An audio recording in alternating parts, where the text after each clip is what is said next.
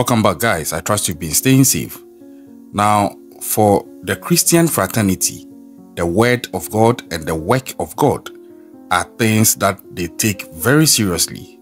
I'm a Christian myself, and Christianity is built around the foundations of love for one another and neighborliness. So, it is very surprising to have a situation where there would be conflict in the church to the point that an assistant pastor will decide that he has a beef with his senior pastor and it degenerates to the point that he physically confronts him on the church premises, particularly at the altar of God Himself. It gets physical, and in the physical encounter, it becomes a fisticuff situation where the assistant pastor decided that at the altar of God in the church, he would end the life of the senior pastor and then go ahead to just set him ablaze. This is what has happened in Nigeria as at the 26th of February 2024 and I'm struggling to appreciate the facts of this case. But I'm here to share them with you. Maybe you can make me appreciate it. So, the whole story started prior to the actual fateful day of the event, where the assistant pastor by name Olalekan Ogundipe, let's just call him Lekan. This assistant pastor, known as Lekan, seemed to have gotten very notorious in the church, to the point that it is alleged he was having several amorous relationships with women in the church. And if you know how the church system is, particularly in Africa, for most churches, they really regard their pastors and assistant pastors to the point that sometimes some women even respect them more than their partners.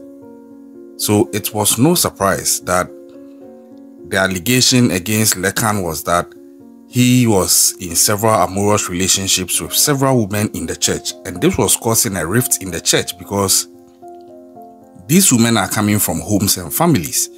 So, if you are sort of bundling them up like that, definitely it means that you are breaking up somebody's home. And that is not something that the church should be taking for granted. So there were several complaints against Lekan to the point that some of these complaints actually got to the senior pastor by name Most Superior Evangelist Olagbaju Morris Gbade Fadehan. Yeah, I know the name is long, so let's just call him Morris. Now, the complaints got to Pastor Morris, and he was really concerned because these were not the first time that these complaints were coming up against the assistant pastor Lekan. Now it is alleged that at a point in time there have been confrontations between some men and Lekan, and Lekan also seems to be very aggressive and very seemingly prone to violence to the point that it had become a known reputation about him that this guy seems to be the black sheep of the pastors in the church. But my question is then how did he become a pastor in the first place? Because pastors are supposed to eschew a virtue that is Christ-like in quotes, where they are demonstrating the expected meek behavior of Christianity that is fit enough for them to be granted the mantle of leadership to lead the flock to Christ. That is the expectation I would have of a pastor. So I don't understand how such a seemingly unstable guy would end up being put in the position of a senior, of an assistant pastor or assistant evangelist in this church. And the name of the church is the Celestial Church of Christ, Grace of Comfort Parish. Now, this was what was transpiring. And it turns out that there was another woman in the church by name Mami Ewa. Now, Mami Ewa's case seemed to be the catalyst that set this, the whole thing off on the 26th of February. Because although there have been several incidents in the past with regards to Assistant Pastor Lekan and his alleged amorous relationship with women and conflicts around these things, it seemed like it was being managed to an extent, although it wasn't being well managed. But the whole thing came to a head where Mami Ewa, also a member in the church, went and lodged a complaint against Assistant Pastor Lekan. And she made this complaint to the senior pastor, telling him that Lekan is going around peddling a story that seems to suggest that himself and Mami Ewa were an item or are still an item. And Mami Ewa seems to be against that peddling because allegedly, according to her, she doesn't think that that was the case.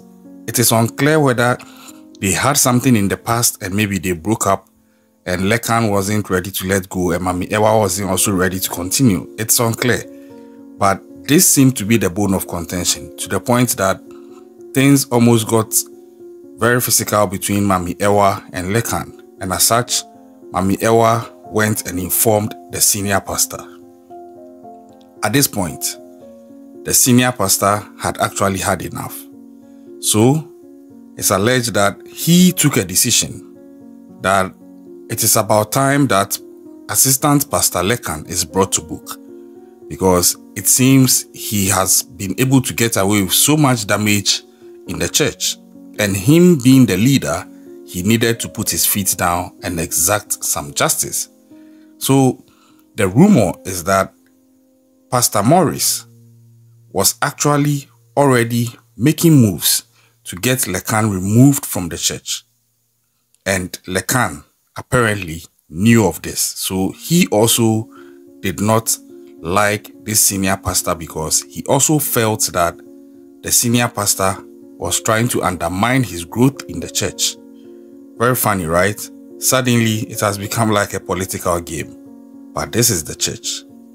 Hmm, interesting. That is what is alleged out there. Then, on this fateful day of the 26th of February 2024, after Mami Ewa had made these complaints to the senior pastor Morris, it's alleged that the senior pastor sought the company of Assistant Pastor Lekan and gave him a heavy dose of direct confrontation verbally, ironing out the fact that he's creating problems and that he shouldn't continue to do these things. And it became a heated argument to the point that it's alleged Lekan decided to take it a step further when his violent tendencies kicked in, and it quickly degenerated into something else. At this time, the senior pastor was actually at the altar designated for the highly spiritual works of the church within the church. So he was standing at the altar of Christ in the church. But Lekan didn't make any cognizance of that he had no regard for the so-called sanctity they had ascribed to that particular location in the church.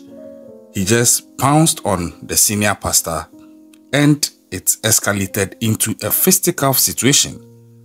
The senior pastor Morris reportedly also did not back down because at this point it would seem more like a case of self-defense. So he also sought to defend himself. But then, Unfortunately, it seemed the rage of Assistant Pastor Lekan Ogundipe was more ruthless than the resolve of the senior Pastor Morris, and Lekan was able to overpower him and ended him right at the altar inside the church. It didn't end there. He moved on, got some chemicals, got some stuff, and then set the pastor ablaze. At which point he then ran out and raised an alarm that he came and saw the pastor on fire and that people should come and help him save the situation. When in actual fact he knew that he had done this, but he went outside and he was pretending. That is the devil right there, if this is true. That is the devil right there, and he is wearing the cassock of an assistant pastor and unaliving his senior pastor at the altar of Christ inside the church building. How, how, how, how tricky can this get again? This is such an irony. And I ask myself, so these members who go and sit at the feet of such a person to listen to him, hoping to find Christ through this person. Where is this guy taking them? Well, that is a question for another day. But then, it is being reported that at the point that Lekan was pretending and raising the alarm that people should come and attend to this pastor, some of the people he was trying to convince noticed that he had some scratches on him which suggested he might have been in a confrontation or a struggle of a sort, and there were also some stains of blood in his dress. So they then confronted him as to whether he isn't actually involved in whatever he's raising the alarm on. He panicked and they pushed him a bit and he confessed. Then they raised an alarm, the police came and they picked him up arrested him, he confronted, he, he confessed there and there after they confronted him. And then the police whipped up the remains of the senior pastor and then just took him to the morgue. And just like that, Assistant Pastor Olalekan Ogundipe had soiled the Church of God with the blood of the senior pastor over him being rebuked over his seemingly amorous relationships with some women in the church, allegedly. And like I was saying, how does this happen in the church? Because for me, I'm raising two key questions. With a track record like this, how did Ola Lekan Ogundipe or Lekan become a senior pastor, uh, an assistant pastor in this church? what was the, the basis of that meritocracy that was granted him to grow to become this assistant pastor? How? I, I don't get it because nothing about his conduct screams Jesus Christ in any way. Nothing about his conduct screams that he is worthy, in quotes, of being appointed as a leader in a Christian society to mentor some members or speak or preach to some members. Christianity is not just about talking about the word of God. It starts with the character of the person initiating the conversation. At least, that is what I think.